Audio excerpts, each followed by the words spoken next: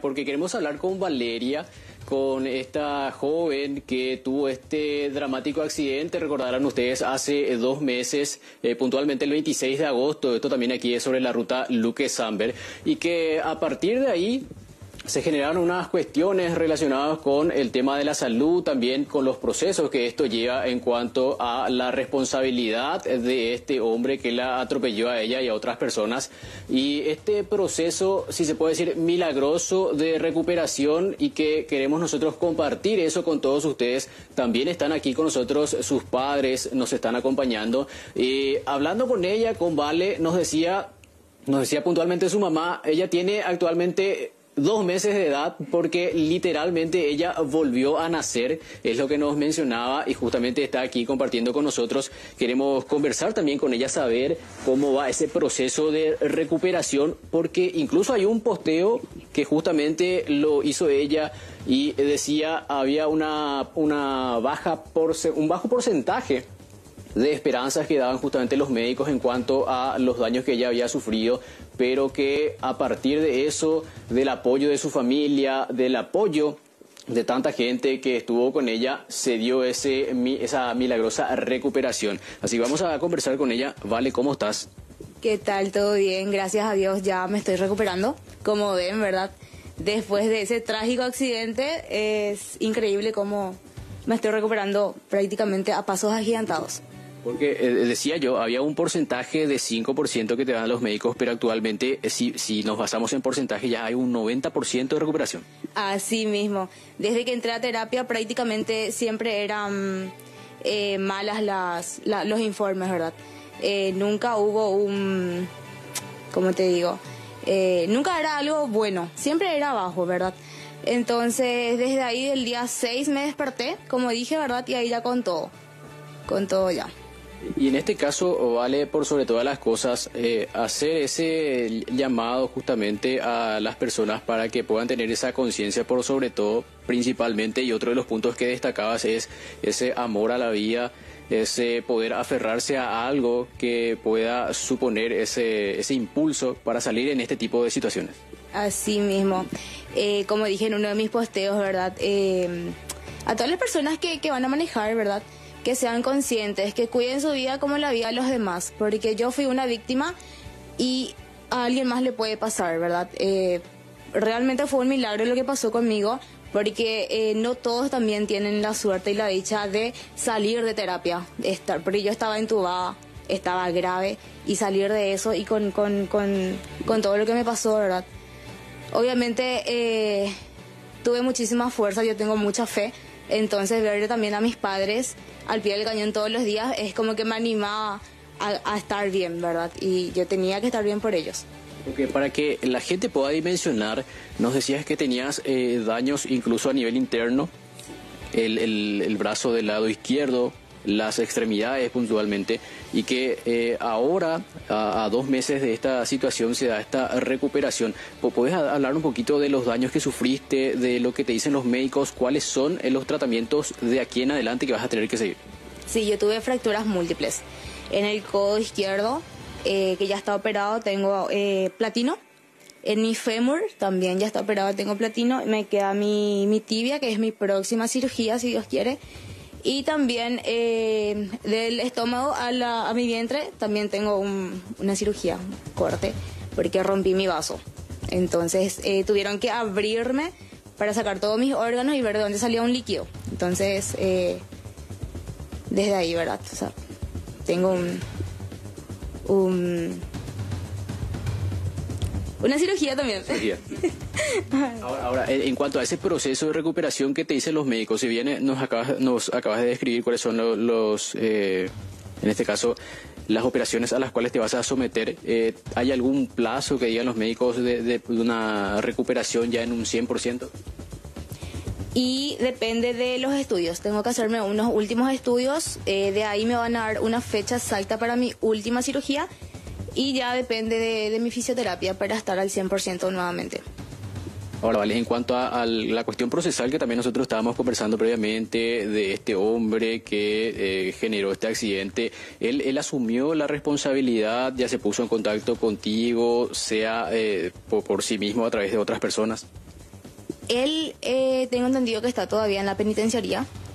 Eh, él en ningún momento trató de comunicarse con nosotros. Eh, bien sí, su esposa y su hermana, ¿verdad? Vinieron a verme y fueron ellas las que están poniendo la cara, tratando de eh, llegar a un acuerdo económicamente, donde los, los abogados están haciendo cargo de eso. Porque justamente todo esto implica una, un costo elevado. Así mismo, es un costo alto realmente todo lo que por todo lo que ya pasé, ¿verdad? Era 38 días de, de internación y en esos 38 días siempre hubo un gasto. Y a ver, destacar por ejemplo eso que habíamos mencionado acerca de ese posteo que hiciste, de esas reflexiones que ya bien lo mencionaste acerca de valorar la vida, decías también que las personas puedan tenerse debido cuidado al momento de conducir y evitar que se den este tipo de situaciones porque ciertamente te quita tiempo, también mucho, mucha preocupación principalmente por parte de tus familiares. Así mismo, y como dije, ¿verdad? De mi posteo también, que cuide su vida y la vida de, la otra persona, porque yo me considero una, una chica súper hiperactiva, muy inquieta, eh, soy estudiante, trabajo, y al, al, ocurrir esto, por ejemplo, prácticamente me cortó todo lo que yo hacía, eh, tuve que congelar mis estudios, eh, dejé de trabajar y, todo eso, ¿verdad? Eh, por una irresponsabilidad prácticamente me cortan las alas, vamos a decirle. Vale, en este caso, ¿hay algo que estés necesitando, algo que podamos nosotros, en todo caso, encauzar a través de nuestros televidentes, eh, algún tipo de ayuda? ¿Será que se puede mencionar también eso? Y ahora mismo, en realidad, yo tuve la dicha de que muchísima gente estuvo conmigo detrás de mí, nunca me faltó nada. Y creo que mis padres estaban viendo el tema de conseguir la silla de ruedas. Eso nomás luego lo que... Eso es lo que está pendiente, digamos. Eso está pendiente ahora mismo. A ver, ¿cómo se llama tu mamá? Lilian Venegas. yo, yo sé, compañero, que acá está Lilian Venegas, la, la madre. Ella me dijo, no quiero hablar, me dijo hace rato. Pero como la citó, ¿vale? Yo me voy a mover acá un poquito porque justamente este es el apoyo que tiene, ¿vale? Son sus pilares justamente están aquí presentes con nosotros, está su padre, está su madre, entonces también queremos eh, conversar así un, un, ratito también con ellos porque lógicamente esto trae toda esa consecuencia para la familia, de verla así a la hija, de, de saber qué es lo que va a acontecer, entonces eh, como que también se sufre un poquito desde ese lado, señora. Así mismo es, sí, realmente bueno, al verla ya así a mi hija que está evolucionando rápidamente, no sé, yo estoy más que, más que agradecida a Dios porque gracias a Él ocurrió este milagro con mi hija y gracias a Él está ella así como está ahora. Esperando todavía una cirugía más que ojalá Dios quiera y que nos siempre esté con nosotros con su bendición para que salga todo bien otra vez de esta cirugía.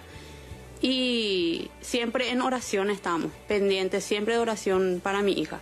Porque justamente como lo estamos conversando, señora, eh, visto el caso de otras situaciones similares, a veces no se dan también este tipo de resultados, un, un avance importante en cuanto a la recuperación de, de, la salud y este es por sobre todo eh, destacable y es un milagro así como, como la propia Valeria lo mencionaba. Así mismo, es un milagro, nada que decir otro, de otro modo, es un milagro lo que ocurrió en ella y estamos demasiado este, bendecidos, bendecidos por Dios porque ella es mi única hija, como siempre dije, es mi tesoro y ella también es nuestro pilar para que nosotros podamos estar también al pie del cañón, siempre apoyándola a ella y estando con ella en todo momento.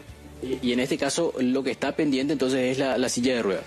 Sí, en realidad que hay una persona eh, de buen corazón que nos está gestionando, que estamos por ver si es que ya no salió o no. O sea que ya gestionamos la silla, pero todavía no, no nos dieron un este ok para ir a retirar. Por ende, también hay una familia que eh, le había prestado a ella la silla de ruedas. Estamos utilizando ese ahora en este momento porque nosotros necesitamos ir eh, de vez en cuando en el control de ella y tuvimos que prestar la silla de ruedas para llevarla. Pero eh, también estamos gestionando uno que no está por salir. Ahora, en cuanto a medicamentos, eso sí se cuenta con eso. En cuanto a medicamentos, ella, nosotros al salir del hospital ya le trajimos todo lo que nos pidieron. Eran nada más que tenía una fecha exacta hasta donde tenía que tomar y ahora ella ya está sin medicamentos, ya se le suministró todo lo que se tenía que suministrarle en la fecha. Eh, ella está prácticamente ella sin tomar ningún medicamento. Entonces, a la par de eso, el cuidado, lógicamente, de los padres, el apoyo de los amigos y de la familia, entonces eso hace justamente que esa recuperación se pueda dar con mayor, eh, con mayor rapidez. Claro que sí, claro que sí. Estamos siempre, como te dije, al pie del cañón con ella.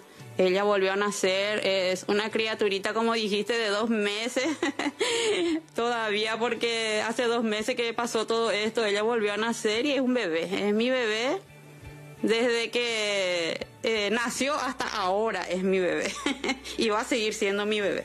Gracias, señora. Bueno, a ustedes. Yo, yo me acerco otra vez acá a Vale para ver si podemos dar algún mensaje final, ¿vale? Para todas aquellas personas que, que nos están viendo, porque decías, tengo ese apoyo de la familia, como bien ah, justamente lo, lo acaba de recalcar tu madre, y ese mensaje para tantas personas que también están pasando por esto y para personas también que tienen a veces esa mala costumbre de conducir no estando en, en, con los eh, sentidos puestos totalmente, para que sirva esto como un, como un ejemplo, como un modelo también. Sí, más que nada, eh, como dije también en mi posteo, ¿verdad? estas fechas van a ser más bien de agradecimiento, ¿verdad? Eh, tuve la dicha de tener muchísima gente, como te dije, de apoyar. El, el apoyo de la gente fue tremendo. Y más que nada eso, a, la, a las personas que están pasando por lo mismo que yo, que tengan fe, que tengan fe, buena actitud porque eso ayuda muchísimo. Eh, no todas las personas realmente que eh, las que pasan por esta situación están así, eh, a muchos les agarran depresión, entonces más bien eso.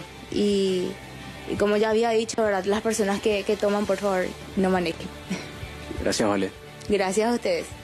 Bueno, compañeros, ahí tenemos las declaraciones justamente de Vale, también de su familia y de todo esto que eh, resulta a partir de este accidente que se generaba hace dos meses y ese mensaje tan importante que va Vale acerca de la importancia principalmente de la familia y segundo para todas aquellas personas que tienen esa mala costumbre de conducir eh, en estado etílico o no estando con todos los sentidos en alerta. Asimismo, Oliver, y bueno, es una buena noticia que eh, la paciente se está recuperando ahora después de este terrible accidente que nos sorprendió a todos por la violencia con que ocurría y por el estado lamentable en que manejaba este conductor. Gracias, Oliver, y mucha fuerza a la familia. Hasta luego.